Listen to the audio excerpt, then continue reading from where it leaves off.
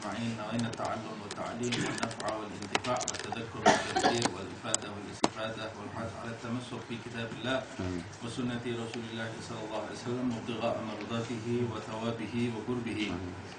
Alhamdulillah uh, kita panjatkan puji syukur kehadirat Allah Subhanahu wa taala yang mempertemukan kita kembali dalam uh, majlis yang penuh keberkahan ini. Semoga Allah Subhanahu wa taala menjadikan kita termasuk alladzina yastami'una al-qawla fayattabi'una ahsana. Orang-orang yang mendengarkan nasihat yang baik kemudian mengikutinya dalam mengamalkan mewujudkan nasihat itu pada kehidupan sehari-hari ikhlas mengharapkan ridha Allah Subhanahu wa taala. Pada pertemuan yang lalu kita telah menyelesaikan eh, masalah akidah keimanan seperti yang kita rencanakan eh, bahwa kita akan mempelajari rukun Islam rukun iman dan kemudian ihsan. Tapi karena eh, darurat membutuhkan akidah terlebih dahulu, rukun imannya kita dahulukan, baru kemudian rukun Islam setelah itu. Nah, rukun iman sudah selesai kita bahas di pertemuan yang lalu antuk minabillahi wa malaikatihi wa kutubihi wa rusulihi wa bil yaumil akhir wa bil qadari khairihi wa syarrihi. Beriman kepada Allah dan kepada malaikat, kitab-kitabnya, rasul-rasulnya, kemudian beriman kepada hari akhir dan juga pada ketentuan Allah yang baik atau yang buruk. Kemudian kita lanjutkan ke rukun Islam. Rukun Islam itu dimulai ada lima rukun Islam. Makna rukun sudah pernah kita bahas pada awal majelis kita. Rukun Islam yang pertama adalah syahadat an tashhada ilaha illallah wa anna muhammadan rasulullah seperti yang kita ketahui rukun-rukun itu diibaratkan seperti tiang yang jika salah satu dihilangkan maka bangunan itu tidak akan bisa berdiri tegak termasuk di antaranya rukun Islam ini yang terdiri dari lima tiang, lima rukun yang jika salah satu ditinggalkan maka dia tidak bisa dianggap sebagai orang Islam. Dalam tanda kutip bangunan Islam itu tidak akan bisa didirikan di dalam dirinya. Yang pertama adalah syahadat. Syahadat itu berarti kesaksian. Kesaksian itu bermakna ketundukan. Setiap orang yang mengaku dirinya Islam Maka Islam itu memiliki rukun pertama yaitu bersaksi. Bersaksi itu berarti tunduk. Kesaksian yang dibutuhkan bagi setiap orang yang mengaku dirinya Islam Bagi setiap orang yang menginginkan eh, dibangunnya bangunan Islam di dalam dirinya yaitu bersaksi bahwa tidak ada Tuhan selain Allah Subhanahu wa taala.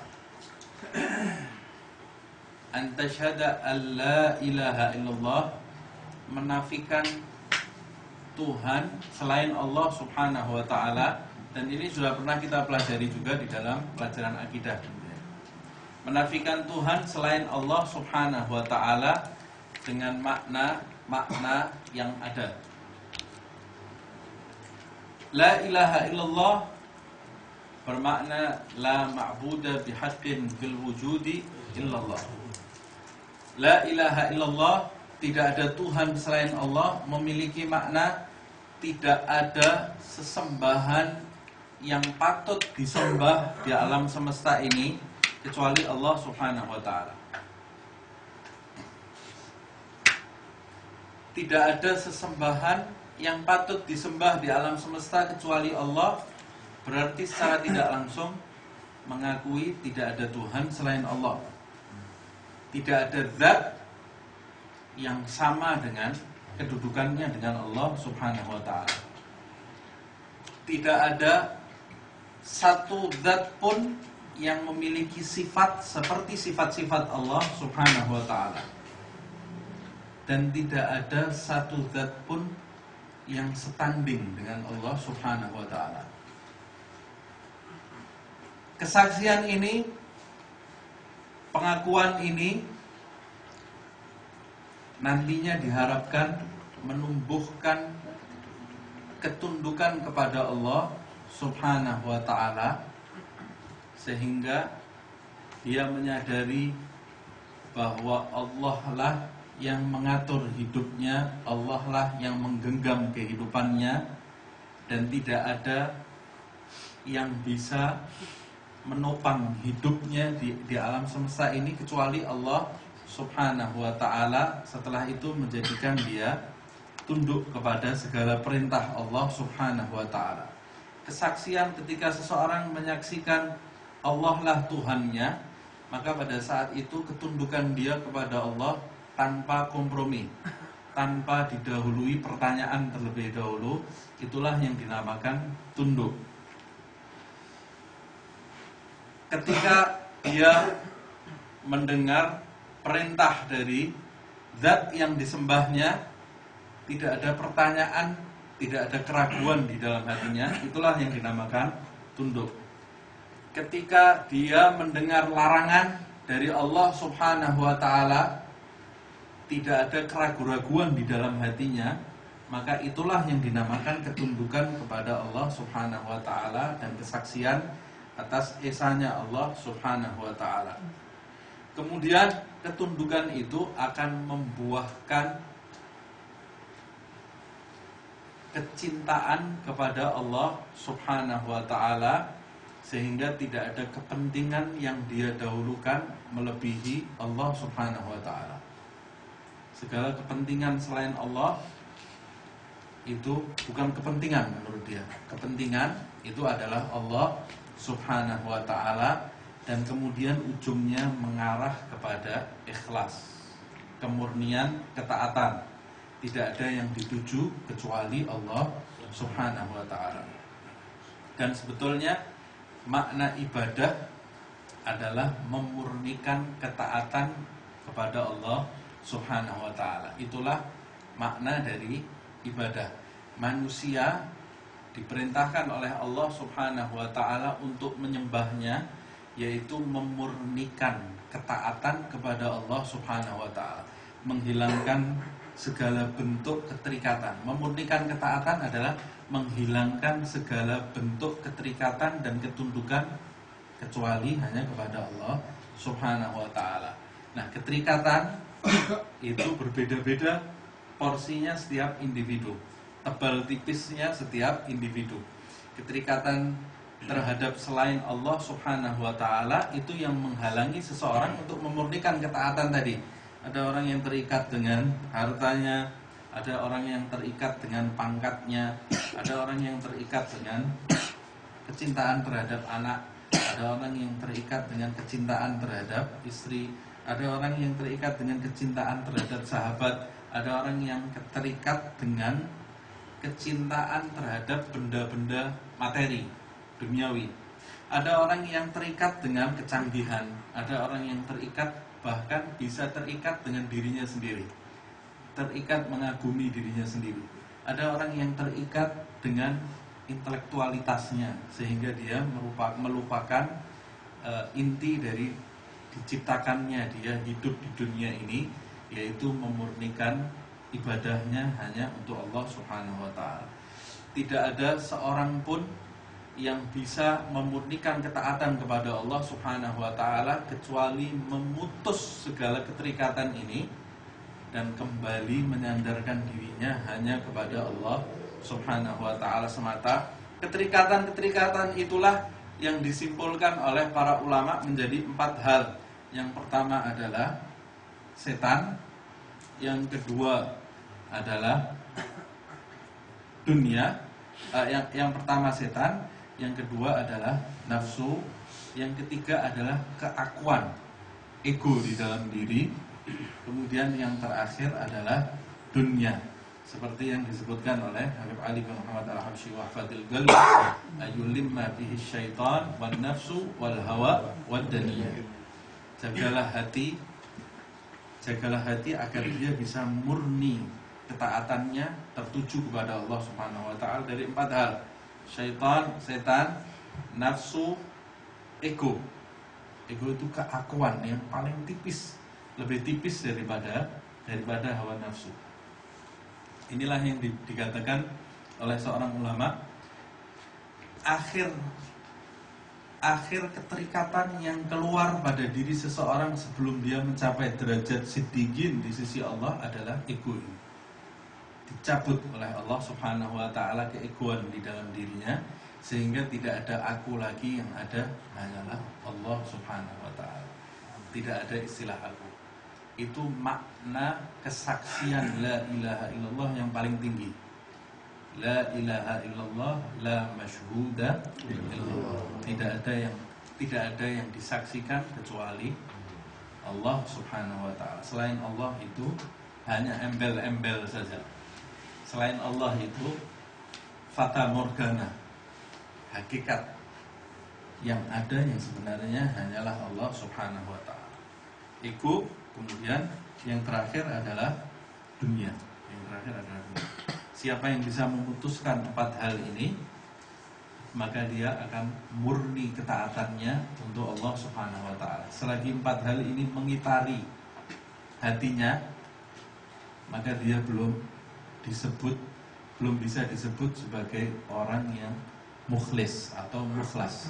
Belum dimurnikan ketaatannya kepada Allah Subhanahu wa taala. Kesaksian yang sebenarnya adalah kesaksian yang keluar dari lubuk hati yang me me me menghasilkan sifat ikhlas, ketaatan kepada Allah Subhanahu wa taala. Nah, walaupun demikian yang dimaksud syahadat di sini tentunya tidak mungkin syahadat yang memiliki kualitas seperti yang saya bahas tadi. Artinya setiap orang yang dengan lisannya mengucapkan syahadat maka dia dihukumi sebagai orang Islam. Baik syahadat itu uh, uh, baik syahadat itu sekedar keluar dari lisannya atau syahadat itu memang sudah benar-benar memiliki bobot di dalam hatinya. Yang jelas orang bisa menghukumi manusia dari sisi lahiriahnya. Ketika manusia itu mengucapkan syahadat maka dia hukumnya Islam. Nah sebelum saya lebih lanjut membahas makna syahadat ini, saya akan jelaskan terlebih dahulu pada permasalahan ini. Setiap orang yang mengucapkan syahadat maka dia disebut Islam. Sedangkan hati dia, keyakinan dia terhadap ucapannya itu urusan dia dengan Allah Subhanahu wa taala. Karena manusia hidup di dunia ini hanya bisa menghukumi yang lahir saja. Seperti yang terjadi seorang sahabat yang berperang kemudian ketika musuh sudah tergeletak di hadapannya, sahabat ini menghunuskan pedang hendak membunuh musuh tadi. Tiba-tiba musuh Islam ini mengucapkan syahadat asyhadu an la ilaha illallah wa asyhadu anna muhammadan rasulullah dia menghukumi syahadat ini hanya sebagai tameng saja, sebagai perisai supaya lolos dari pedang pedangnya. Maka dia tetap menancapkan pedangnya ke perut musuh tadi sampai mati. Sampai mati musuhnya.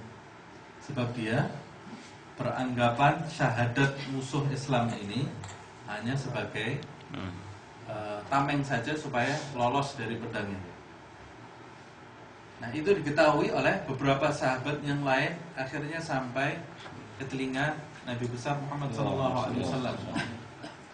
Lalu dipanggil oleh Rasulullah SAW dan ditanya apakah betul itu kau lakukan?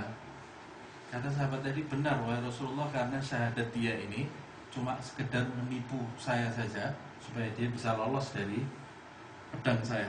Kata Rasulullah SAW, asyakok tagal bau apa kamu membelah dadanya sehingga kamu bisa tahu isi hati orang tadi?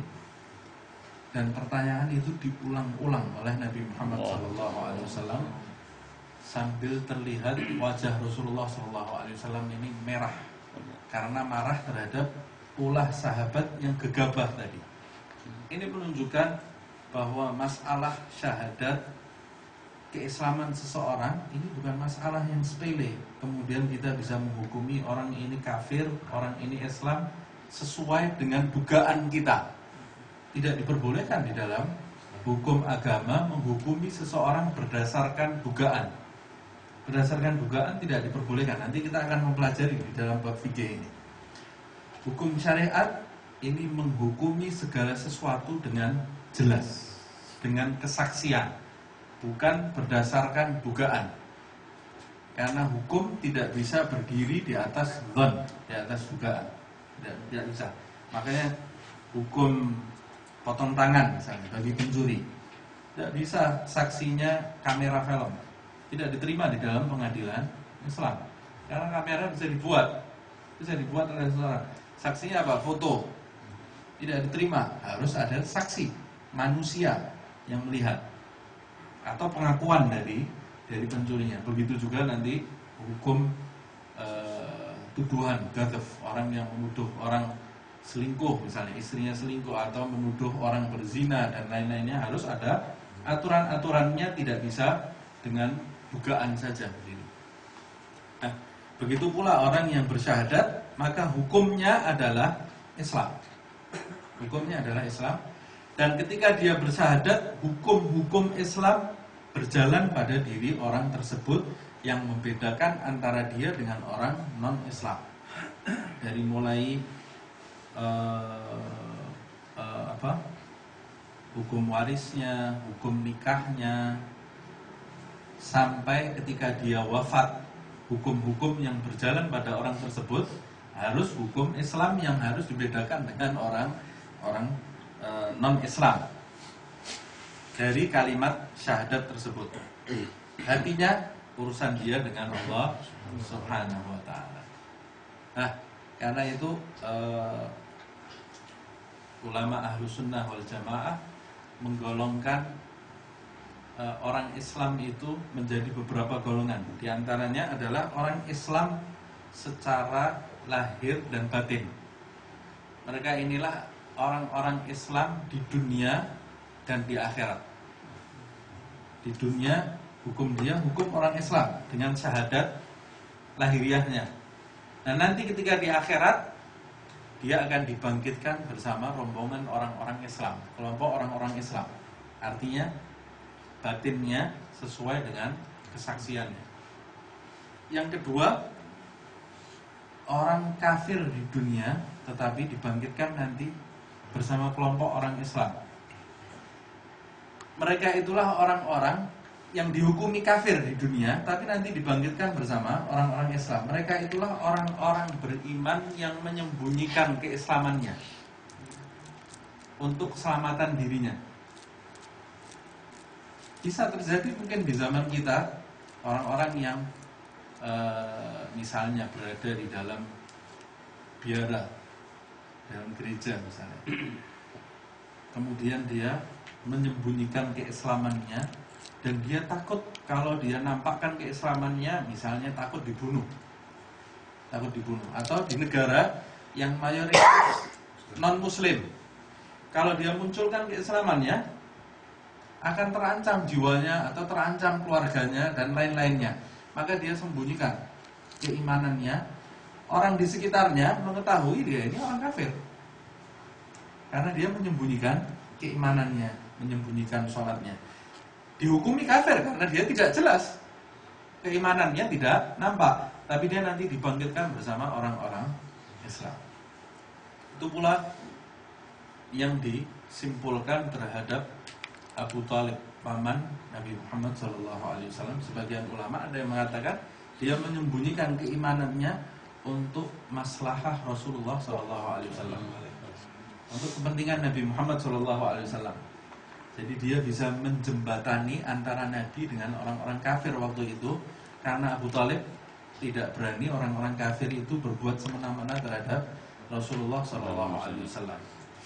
Nah, Ada sebagian ulama yang mengatakan dia ini adalah dihukumi kafir di di dunia, tapi dia nanti dibangkitkan bersama orang-orang Islam. Ada sebagian pendapat yang seperti itu. Walaupun salaf kita mengatakan dia muslim, mukmin di dunia wal akhirah. Kemudian yang ketiga adalah orang yang kafir di dunia wa kafir fil akhirah. Kafir di dunia, kafir di akhirat adalah orang-orang kafir yang menunjukkan pembangkangannya, pendus, ke, ke, uh, pendustaannya terhadap apa yang disampaikan oleh Rasulullah Shallallahu Alaihi Wasallam. Jelas-jelas dia kafir. Dan memang itu keluar dari lubuk hatinya pendustaan itu. Dan dia nanti dibangkitkan bersama kelompok orang-orang yang kafir. Kemudian yang keempat, yang keempat adalah orang-orang yang muslim di dunia tapi dibangkitkan bersama orang-orang kafir. Mereka itulah orang-orang munafik seperti yang ada di zaman Rasulullah Shallallahu Alaihi Wasallam yang menunjukkan keislamannya hanya supaya uh, bisa uh, hidup aman di antara Rasulullah Shallallahu Alaihi Wasallam dan dan para sahabatnya uh, karena mereka menampakkan keislaman sebetulnya di dalam hatinya benci terhadap Rasul Shallallahu Alaihi Wasallam dan mendustakan apa yang dibawa oleh Rasulullah Wasallam. Mereka menampakkan keislamannya musuh dalam selimut, tapi di balik itu mereka merongrong Rasulullah dan para sahabat Rasulullah SAW bahkan beberapa kali mencoba membunuh Nabi Muhammad SAW dan e, pemimpinnya adalah Abdullah bin Ubay eh, Raisul Munafikin kepala orang-orang munafik ada kepala orang-orang saleh ini ada kepala orang-orang munafik Abdullah bin Ubay yang hidupnya hidupnya mengganggu Rasulullah SAW dan para sahabatnya. Tapi walaupun demikian, ketika mendekati ajalnya, Abdullah bin Ubay ini meminta baju terhadap Nabi Muhammad SAW. Dan oleh Rasul SAW, baju yang dikenakan oleh Rasulullah SAW. Dalam riwayat dibuka bajunya oleh Rasul SAW serahkan ke Abdullah bin Ubay. Abdullah bin Ubay ini berpesan kepada anaknya nanti kalau saya dikubur kenakan baju Muhammad ini ke dalam diri saya. Artinya hati kecil itu ada rasa iman terhadap Rasulullah SAW karena Rasulullah SAW itu tidak ada celah bagi orang untuk mendustakan Nabi Muhammad SAW. Tidak ada celah sebetulnya. Tapi karena mereka tertutup dari hidayah Allah Subhanahu Wa Taala. Nah, itu baju itu diberikan oleh Rasulullah kepada Abdullah bin Ubay sebagai balas budi karena Abbas paman Rasulullah SAW waktu tertawan di peperangan Badar bajunya robek-robek tidak punya baju lagi yang memberi baju kepada Abbas ini adalah Abdullah bin Ubay balas budi Nabi Muhammad SAW memberikan bajunya ke, ke Abdullah bin Ubay pernah suatu ketika tersiar berita bahwa Rasulullah SAW memerintahkan sahabatnya untuk membunuh Abdullah bin Ubay. Anak Abdullah bin Ubay ini termasuk sahabat Rasulullah SAW yang setia. Datang ke Rasul SAW, wahai Rasulullah, aku mendengar kabar engkau memerintahkan beberapa sahabat untuk membunuh ayahku. Aku minta, wahai Rasul, jika engkau memerintahkan seseorang untuk membunuh ayahku, perintahkan aku, jangan orang lain. Biar aku yang membunuh ayahku. Sebab aku takut kalau orang lain yang membunuh ayahku nanti aku punya rasa dendam terhadap orang itu. Jadi biarkan aku yang membunuh ayahku sendiri. Kata Rasul SAW mana mungkin aku memerintahkan hal itu nanti akan tersiar berita bahwa Muhammad SAW membunuh sahabatnya sendiri karena Abdullah bin Ubay ini secara lahir dia Islam sholat bersama Rasul SAW dan itu tidak mungkin dilakukan oleh Nabi Muhammad SAW bisa ter, bisa timbul fitnah di mana-mana nanti. Padahal sudah diketahui oleh Rasulullah SAW. Nah, kemudian di antaranya kata para ulama ada orang-orang Islam yang KTP-nya saja Islam, tapi dia tidak kalau di zaman sekarang ini KTP-nya Islam, tapi dia sama sekali tidak tidak melaksanakan syariat Islam di dalam kehidupan sehari-hari.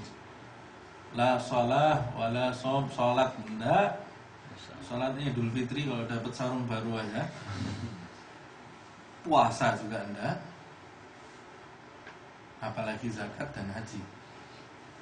Bahkan yang lebih parah, iman terhadap Allah nggak ada di dalam itu. Jadi betul-betul Islam KTP. Ini di zaman sekarang ini banyak orang-orang yang KTP-nya Islam, tapi dia tidak beriman kepada Allah Subhanahu wa taala.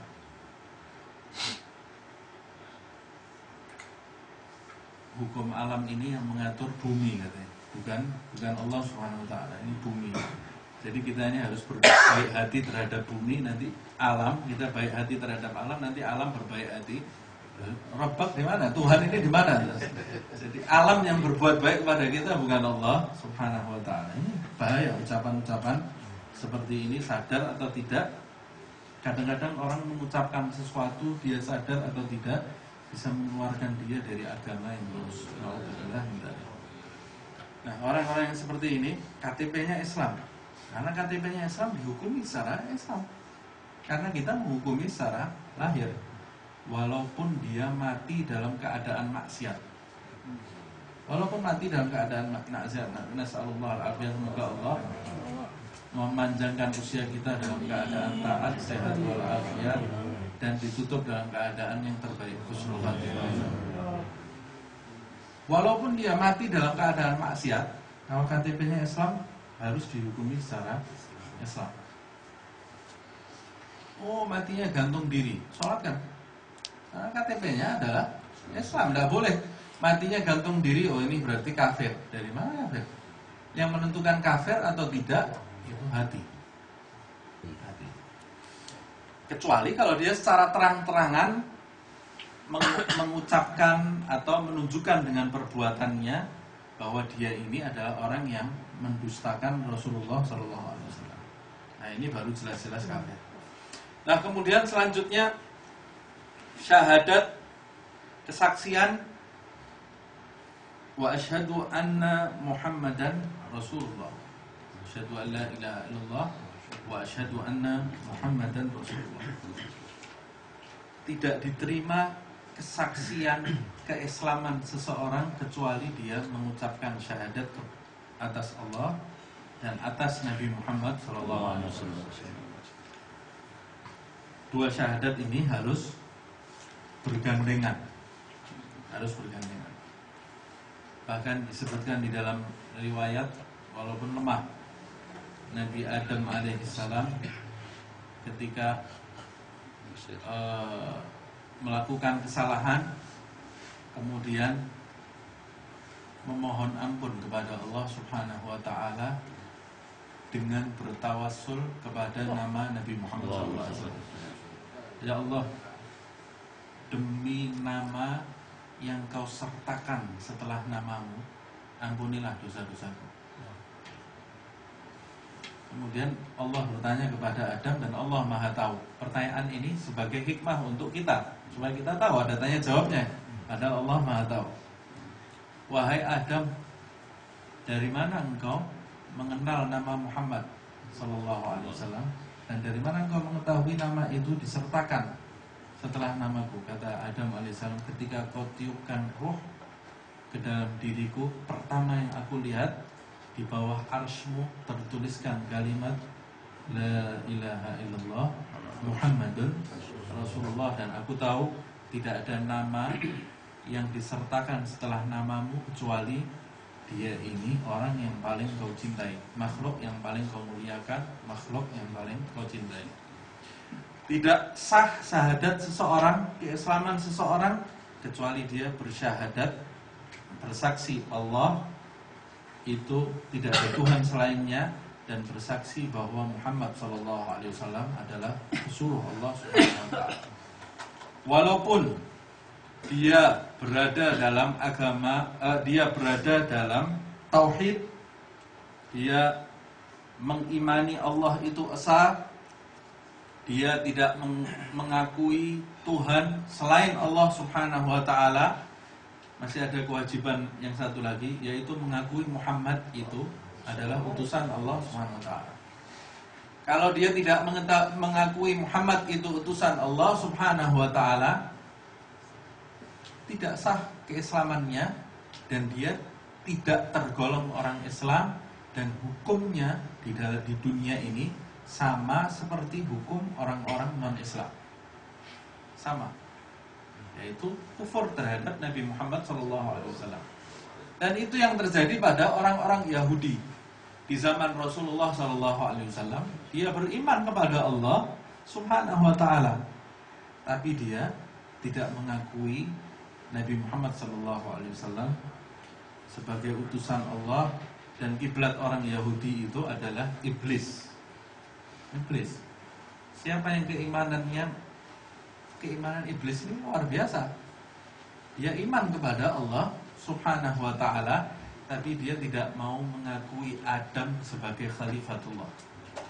Tidak mau mengakui dan ditolak keimanan iblis itu dianggap sebagai orang yang kufur terhadap Allah Subhanahu wa taala. Fasajadal malaikatu kulluhum illa iblis aba wastakbar aba wastakbar. Dia enggan menolak perintah Allah Subhanahu wa taala dan takabur terhadap Allah Subhanahu wa taala. Qala ana khairun minhu khalaqtani min narin wa khalaqtahu min tin. Orang Yahudi memiliki sifat-sifat iblis di dalam hatinya yang ada di masa Rasulullah Sallallahu Alaihi Wasallam yang mendustakan Rasulullah. Walaupun ada orang-orang Yahudi yang kemudian masuk Islam. Masuk Islam. Nah, sama di zaman kita ini ketika ada orang yang menyembah Allah tapi dia tidak percaya terhadap Rasulullah SAW, maka dia bukan orang Islam. Maka dia bukan orang Islam. Percaya kepada Allah, dia percaya sifat-sifat Allah Subhanahu wa taala yang sudah kita bahas percaya menyaksikan Rasulullah SAW sebagai pesuruh Allah Subhanahu Wa Taala, maka dia mengimani Nabi Muhammad SAW, memuliakan Rasul, mengagungkan Rasulullah, mengikuti di dalam kehidupan sehari-hari, dan mengimani segala sabda Rasulullah Sallallahu Alaihi Wasallam. Kemudian di antaranya dia tidak mengakui wujud seorang nabi setelah Nabi Muhammad SAW. Karena di dalam Al-Quran disebutkan Rasulullah itu penutup segala kenabian dan di dalam hadis Rasulullah juga menyatakan bahwa dirinya itu adalah penutup segala kerasulan dan tidak ada Rasul setelah Nabi Muhammad SAW. Mereka yang mengimani Rasulullah Wasallam sebagai utusan Allah Subhanahu Wa Taala maka dia harus mengimani siapa Nabi Muhammad SAW dan memuliakan memuliakan Rasulullah Wasallam. Orang yang tidak mengimani Rasulullah SAW, bagaimana dia akan mengimani Al-Quran yang sampai di tangannya? Siapa yang membawa Al-Quran? Nabi Muhammad SAW. Orang yang tidak mengagungkan Rasulullah Wasallam, bagaimana dia akan mengagungkan Al-Quran yang ada di tangannya? Karena yang membawa, mengemban amanah wahyu itu adalah Nabi Muhammad Wasallam. Karena itu keimanan, barometer keimanan seseorang itu diukur di dalam agama ini, diukur atas dasar cintanya dan pengagungannya terhadap pembawa risalah itu yaitu Nabi besar Muhammad SAW. Kalau dia tidak mengagungkan pembawa risalah ini, dari mana dia akan mengenal Allah Subhanahu wa taala kalau tidak melalui pembawa risalah ini Nabi Muhammad SAW. Makanya di dalam hadis Rasulullah SAW mengulang-ulang la yu'minu ahadukum. Tidak beriman seseorang di antara kalian hatta yakunu hawahu tabi'an lima jittu bihi. Atau kama qala Nabi Muhammad SAW tidak beriman seorang di antara kalian sehingga keinginan-keinginan dirinya ini mengikuti syariat yang aku diutus untuk membawanya mengikuti aku kata Rasul SAW yang aku ini diutus untuk mengemban syariat Allah Subhanahu wa taala. Mengikuti Rasulullah SAW. Di dalam Al-Qur'an atiullaha wa atiur rasul. Dibarengkan, digandengkan ketaatan ini, taat harus kepada Allah dan taat kepada Nabi Muhammad SAW. Bagaimana orang akan taat kepada Rasul kalau dia tidak mengimani Rasul? Bagaimana orang akan taat kepada Rasul kalau dia tidak mengagungkan Nabi Muhammad SAW?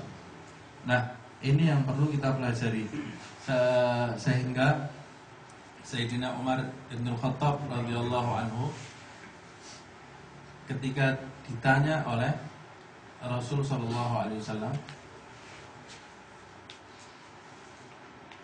bagaimana kedudukanku di sisimu wahai Umar Kata Sayyidina Umar, Ya Rasulullah, engkau lebih aku cintai daripada hartaku, daripada istriku, daripada anak-anakku, daripada segala sesuatu selain diriku. Kata Rasulullah, daripada dirimu, wahai Umar, kalau diriku aku masih lebih mencintai diriku oleh Rasul. Kata Sayyidina Umar. Sayyidina Umar waktu itu mengutarakan penyakit yang ada di dalam dirinya. Karena dia manusia biasa bukan orang yang maksud dan ini oleh para ulama disimpulkan setiap guru setiap murid terhadap syekhnya dia harus berbicara jujur. Hmm. harus berbicara jujur. Setiap murid terhadap syekh spiritualnya dia harus berbicara jujur kalau tidak berbicara jujur, dari mana dia bisa dari mana dia bisa mengetahui penyakit seperti pasien yang datang ke dokter. Kalau dia tidak tidak mengutarakan penyakitnya, dokter itu tidak mungkin mengobati penyakitnya. Sudah syarat sah untuk diobati mengutarakan penyakitnya. Sayyidina Umar bin Khattab waktu itu mengutarakan penyakit yang ada di dalam dirinya kepada Nabi Muhammad SAW. Kalau diriku ya Rasulullah saat ini Aku masih lebih mencintai diriku daripada Kata Rasul SAW Idan lam yakmul iman. Kalau itu belum sempurna iman. Kemudian kata para ulama Nabi Muhammad SAW Waktu itu adalah Pemimpinnya para guru Rasulullah SAW Pemimpin para syekh spiritual Pada saat itu Nabi Muhammad SAW Memberikan nazrah ke dalam dada Sayyidina Umar bin Khattab yang menghilangkan eh, kotoran-kotoran uh, itu di dalam dirinya. Kemudian saya Umar mengucapkan Al-ana ya Rasulullah. Sekarang ini aku lebih mencintai engkau daripada diriku sendiri. Saat itu juga kata Rasulullah SAW, "Idan kamulah iman." Kalau begitu sekarang ini sempurna iman. Sempurna iman.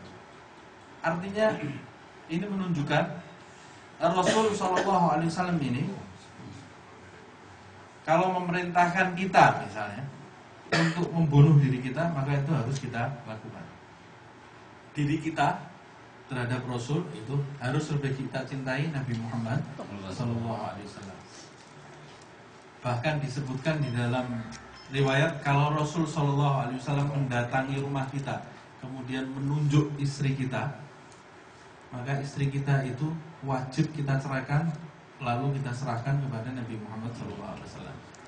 Walaupun itu tidak tidak terjadi. Artinya segala sesuatu yang ada di alam semesta ini semuanya milik Nabi Muhammad SAW dan wajib kita haturkan untuk Rasulullah SAW.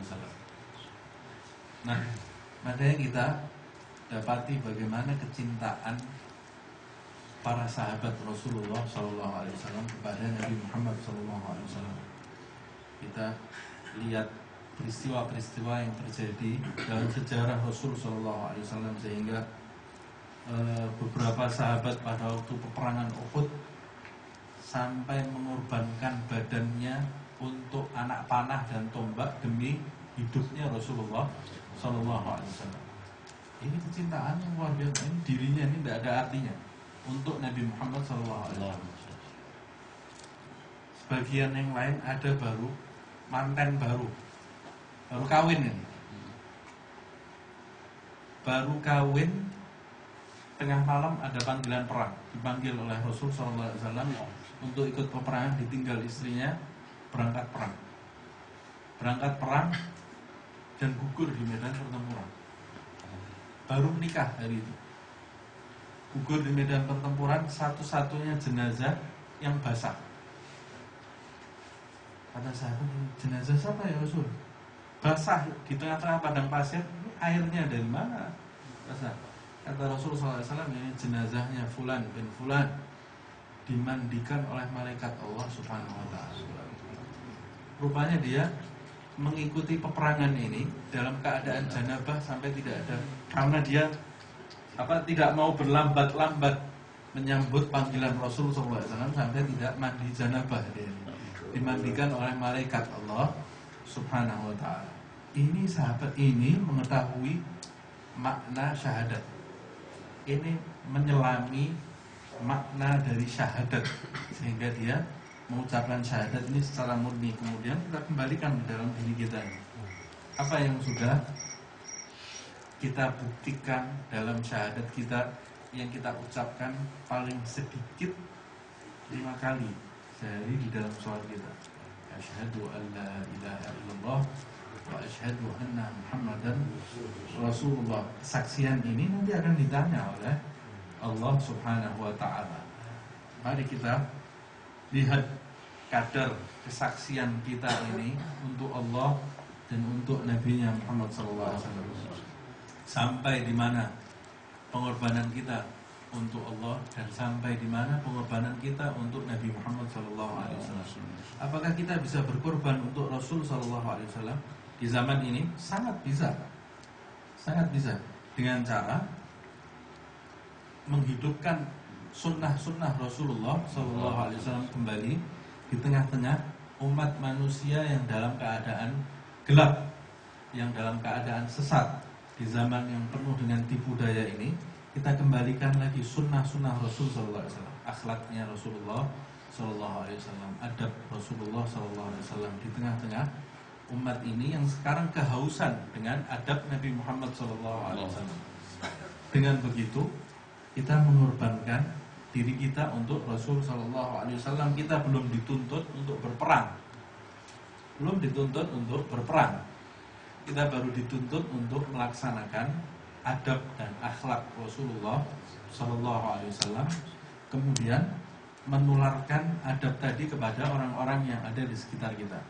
Kemudian termasuk di antaranya selain itu memperhatikan kondisi umat Muhammad Shallallahu Alaihi Wasallam yang ada di sekitar kita.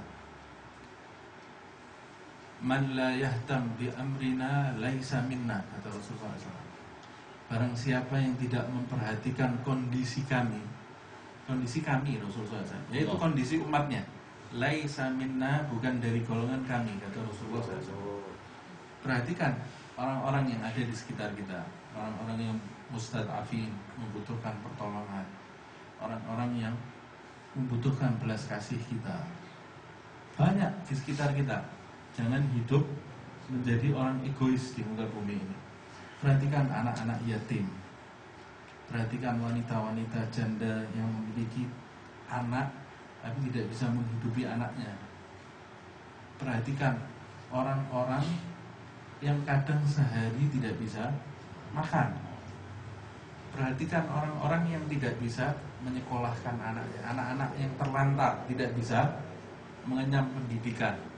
Nah, ini hal-hal seperti ini yang mendekatkan diri kita kepada Allah dan mendekatkan diri kita kepada Rasul SAW dan membuktikan kesaksian syahadat kita supaya kita jangan sekedar bersyahadat di mulut saja tetapi harus dibuktikan di dalam kehidupan sehari-hari dan wujud kehidupan sehari-hari dengan akhlak dan memperhatikan orang-orang fakir itu itu merupakan bukti dari hati rahmat yang ada di dalam diri kita. Tidak mungkin orang yang dekat kepada Allah tidak punya rahmat di dalam hatinya. Tidak mungkin. Orang yang dekat kepada Allah itu di dalam hatinya ada rahmat. Orang yang punya rahmat itu bukan orang yang egois. Orang yang orang yang punya rahmat adalah orang yang punya empati yang tinggi sekali di dalam hatinya. Selalu memperhatikan orang-orang yang ada di sekitarnya. Ini orang yang punya rahmat di dalam hatinya. Dan itu yang dilaku, yang terjadi pada diri Nabi Muhammad SAW. Laqad ja'akum rasulun min anfusikum azizun 'alaihi ma anittum harisun 'alaikum bil mu'minina raufur rahim. Azizun 'alaihi ma anittum. Penderitaan yang kamu rasakan itu lebih dirasakan pedih oleh Nabi Muhammad SAW. Ini akhlaknya Nabi Muhammad SAW. Nah, sebagian orang menyikapi menghidupkan sunnah ini hanya dalam tanda kutip hanya berpakaian seperti pakaiannya Rasul Shallallahu Alaihi Wasallam, tapi akhlaknya tidak diwujud, diwujudkan di dalam kehidupan sehari-hari. Padahal ada yang yang lebih penting itu menghidupkan akhlaknya, menghidupkan adabnya dan menimbulkan empati di dalam dirinya, di dalam dirinya. Ini yang yang diperintahkan oleh Rasul Shallallahu Alaihi Wasallam. Kalau orang mengejar pakaiannya seperti pakaian Nabi tapi akhlaknya bertolak belakang dari akhlak Rasul SAW justru dia mengotori Nabi Muhammad SAW menggunakan ciri khas Rasul tapi dia berakhlak beda dengan akhlak Nabi Muhammad SAW sehingga menjadikan orang-orang non Muslim menganggap Rasulullah akhlaknya seperti dia. Dan ini yang terjadi terjadi di zaman sekarang. Orang jadi benci terhadap Rasulullah karena ulah sekelompok orang yang jauh akhlaknya dari Rasul hanya menggunakan ciri khas Nabi saja. Nah ini orang yang seperti ini lebih berbahaya daripada Dajjal yang ditakutkan oleh Nabi Muhammad SAW di hadapan para sahabatnya waktu itu. Nah semoga Allah Subhanahu Wa Taala menumbuhkan rasa rahmat di dalam diri kita menjadikan syahadat kita syahadat yang hakiki yang keluar dari lisan kita dan muncul dalam kehidupan sehari-hari dan menjadikan kita termasuk orang-orang yang beribadah kepada Allah murni ikhlas mengharapkan ridha Allah Subhanahu wa taala. Semoga Allah Subhanahu wa taala mengampuni dosa-dosa kita, mengampuni kesalahan kita, mengampuni dosa-dosa umat Muhammad sallallahu alaihi wasallam. Semoga Allah membahagiakan kita di dunia dan di akhirat kelak. Semoga Allah Subhanahu wa taala membangkitkan kita bersama rombongan Rasulullah sallallahu alaihi wasallam, ahlul baitnya, para sahabatnya, para auliya Allah Subhanahu wa taala sampai di surga Firdaus yang tertinggi tanpa siksa, tanpa fitnah, tanpa adab. Amin ya rabbal alamin. Al-Fatihah.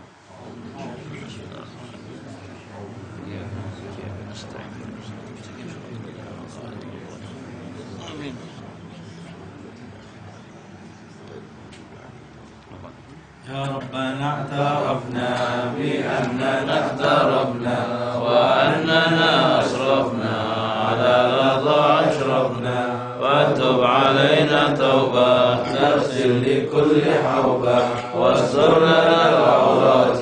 وآمن الروعات واغفر لوالدينا ربي ومولودينا والأهل والإخوان وسائر الخلان وكل ذي محبة أو جيرة أو صحبة والمسلمين أجمع آمين. ربي اسمع.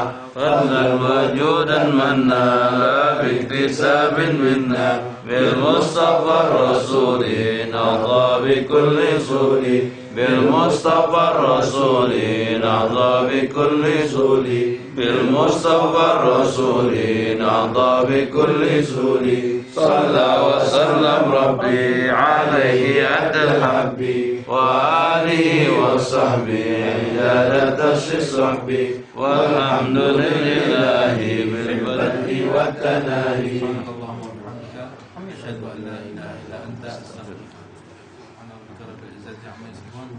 سلام على المرسلين والحمد لله